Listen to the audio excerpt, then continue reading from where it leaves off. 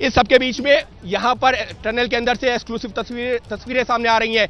क्या है वो तस्वीरें? देखिए, आप खुद देखिए कि किस तरीके से जो पूरा रेस्क्यू ऑपरेशन का काम है, वो पूरा किया गया है और अब ज़िम्मेदारी है एनडीआरएफ और एसडीआरएफ के जवानों के ऊपर एक जानकारी जो मुझे मिल रही है कुछ अधिकारियों से बात करने के बाद में, वो ये पता चल रहा है कि जब एनडीआरएफ और एसडीआरएफ के जवान एक एक करके जो मजदूर इकतालीस फंसे हुए हैं, उनको जब बाहर निकालेंगे, उसके तुरंत बाद मुमकिन, ये मुमकिन है कि उनको टनल के बाहर ना लाया जाए, क्योंकि जिस बात का भी आप ज़िक्र कर रहे थे ना संजय, कि अंदर का तापमान अलग है और बाहर का तापमान अलग है तो मुमकिन है क्योंकि ऑक्सीजन लेवल अंदर अलग था, बाहर अलग है तो वो सारे पैरामीटर्स चेक किए जाएँगे।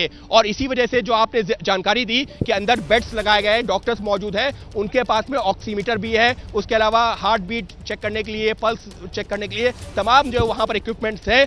जैसे ही घड़ी का काटा दोपहर ढाई पे आए, बबीता जी का दिल सास बहू साजिश के लिए मचल जाए।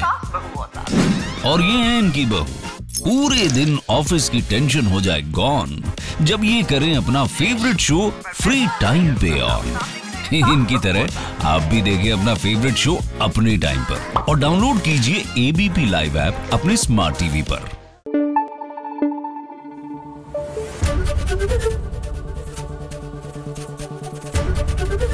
एबीपी न्यूज़ आपको रखे आगे।